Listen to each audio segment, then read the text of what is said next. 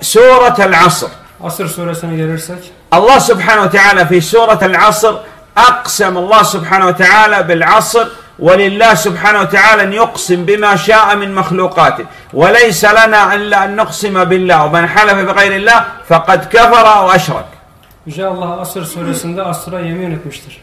Biliyorsunuz ki Yüce Allah için yarattığı şeylerden dilediğine yemin etme vardır. Yüce Allah. Ancak yaratılmışlar ancak Yüce Allah'a yemin ederler.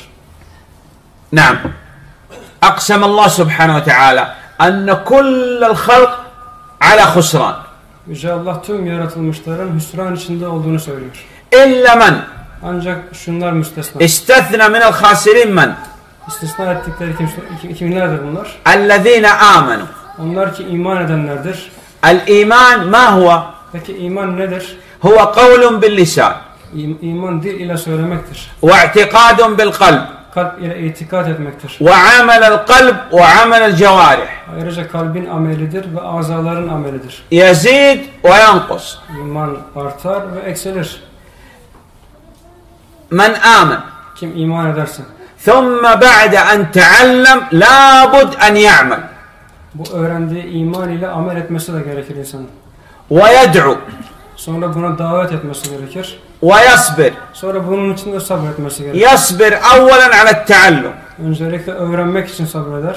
ويصبر على العمل Sonra amel için sabreder. ويصبر على الدعوة Sonra da davet etmek için sabreder. إذا صنع هذا في الدنيا كان له النجاة في القبر وفي الآخرة Eğer böyle yaparsa hem dünyada hem de kabirde kendisi için, ahirette de kendisi için bir kurtuluş vardır. إذا لابد من جهاد النفس أولا قبل جهاد الكفار Bizler kafirlerle cihad etmeden önce kendi nefsimizle cihad etmemiz gerekiyor. Bil ilm vel amel tukammil nefsek. Öncelikle ilim ile sonra amel ile bunu tamamlayacaksın kendi nefsinde. Ve bid da'a ve sabr tukammil gayrak.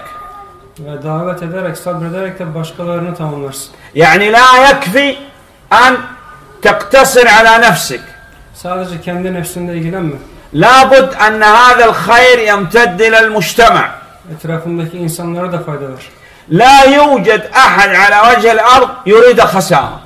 Yeryüzünde hiçbir insan yoktur. Hüsranı isteyen, zararı isteyen hiçbir insan yoktur aslında. Sevan kan minel muslimin ev minel kafirin. Ne Müslüman olsun, hem, hem Müslümanlar hem de kafirler bunu istemezler. Kendileri için sonunda üstüne olacak bir şey istemezler.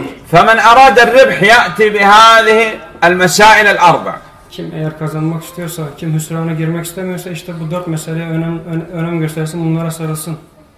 نعم. والله أعلم. الله